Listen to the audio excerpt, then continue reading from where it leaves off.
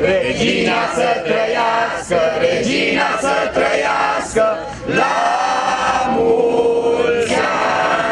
În ziua în care regina Ana a împlinit 90 de ani, membrii Asociației pentru Restaurarea Monarhiei și elevii școlii generale numărul 11 au organizat un eveniment dedicat familiei regale. Au mărșăluit pe străzile din centrul Severinului și au împărțit pliante trecătorilor. O să ne plimbăm prin uh, oraș și o să împărțim pliantele pentru, pentru că atunci, astăzi este ziua reginei Ma, uh, Ana, uh, soția regelui Mihai I și noi am ales să fim aici ca să sărbătorim, să zic așa, ziua de naștere a reginei. Alături le-au fost profesorii, părinții și toți simpatizanții familiei regale. Este un motiv de sărbătoare pentru toți cei care văd că lumea asta în acest moment este în disoluție, iar regina Ana, alături de familia regală, reprezintă în continuare modele de stabilitate, de moralitate, Uh, de normalitate într-o lume care nu mai normală, nu, nu prea mai pare. Poate că e primul an când uh, sărbătorim uh, în Severin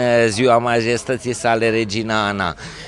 Gândiți-vă, adică din punctul nostru de vedere și dânsa și maestatea sa regele au fost doi oameni care și-au sacrificat o viață pentru o țară. Prezenți la eveniment, elevii școlii generale numărul 11 au avut un motiv în plus de sărbătoare. Școala lor va purta într-o lună de zile numele regelui Mihai. Elevii uh, sunt de la școala numărul 11 și nu spun asta pentru că vrem să scoatem evidență școala, ci pentru simplu fapt că ea se va numi, în, sperăm, într-o lună de zile, școala Regele Mihai I. Avem aprobarea Casei Regale pentru a purta acest nume frumos și sfânt și drag nou din ce în ce mai mult românilor.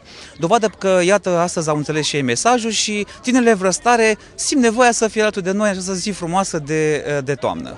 Principesa Ana de Bourbon-Parma s-a născut la 18 septembrie 1923 la Paris. Este fica principelui René de Bourbon-Parma și a principesei Margareta a Danemarcei. Principesa Ana l-a cunoscut pe regele Mihai I al României la Londra. După doar o săptămână, regele i-a cerut mâna. S-au căsătorit la 10 iunie 1948 la Atena și au împreună cinci fiice.